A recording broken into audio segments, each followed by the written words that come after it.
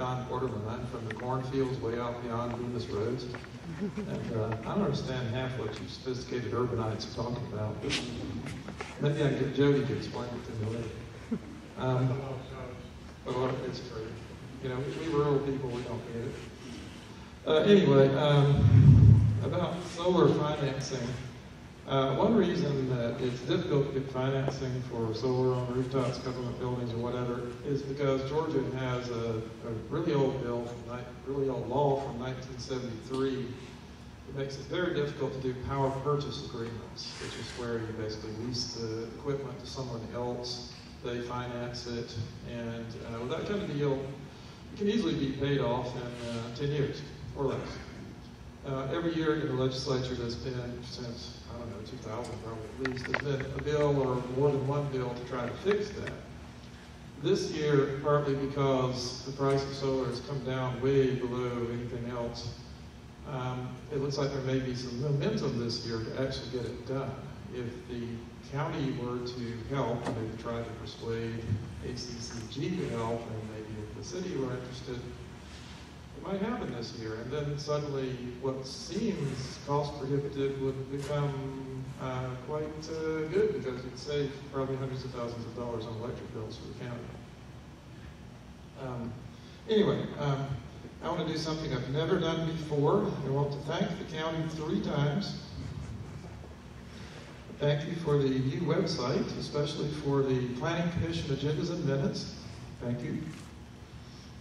I'd like to thank you for that Alapaha River boat ramp. Thank you. And, oh, and uh, if we could hear when that might actually be, what the schedule for that, that would be great.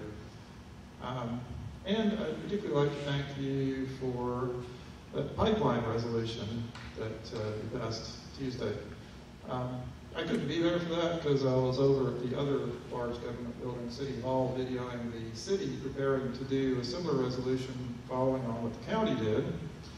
Oh, and by the way, uh, that nifty new website, if, if the county were to video its own meetings and put them on the website, perhaps the city would follow suit and then us amateurs wouldn't be having to do it anymore. Okay, uh, regarding the pipeline, there's something that any of you or any group could do. Oh yes, and thanks to all the people and groups that contributed to getting those resolutions passed, all of them. And uh, there's one thing that any of those people groups or the county or the city could do to help get rid of that pipeline. FERC, the Federal Energy Regulatory Commission, has provided a ridiculously short timeline for comments or filing motions to intervene. They gave three weeks, the last day of which was December 24th. That's right.